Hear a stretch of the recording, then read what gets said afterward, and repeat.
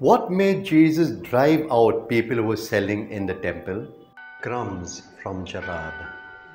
Jesus entered the temple and began to drive out those who sold, saying to them, It is written, My house shall be a house of prayer, but you have made it a den of robbers.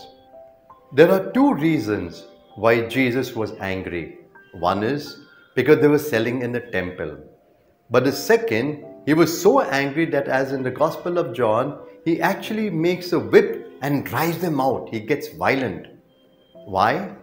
Because they made the house of God a den of robbers. Let me try to explain this to you. Now, there were two groups of people. One who were money changers. Now, what was the issue with them? A little background. Now, every male Jew had to give a half a shekel as tax, temple tax. And there were two places where you could give that temple tax. One is before the festival, about a month before that.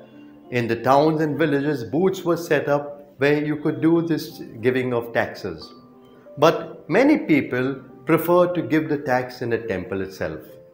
Now, what happened at the temple?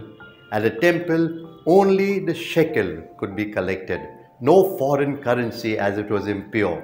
And in Galilee, all kind of currencies were in use. So people had to exchange the currencies for a shekel. And here's where the money collectors made a huge profit. And who suffered? The poor. So Jesus was against the poor being cheated. Injustice over here. Let's take the case of animals being sold. Now, nearly every visit to the temple needed some sacrifice of the other.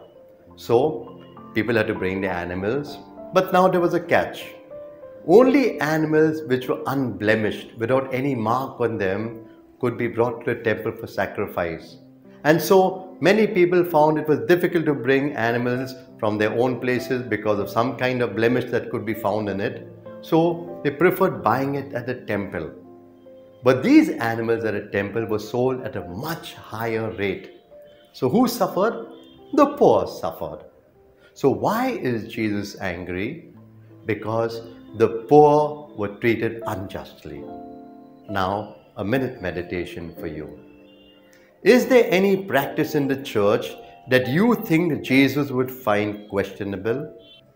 And may Almighty God bless you, the Father, Son, and Holy Spirit. Have a wonderful day with Jesus.